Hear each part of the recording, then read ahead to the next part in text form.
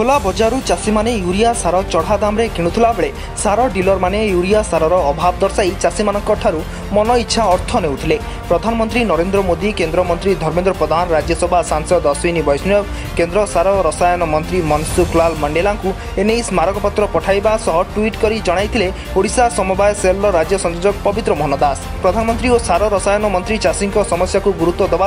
कटक जाषी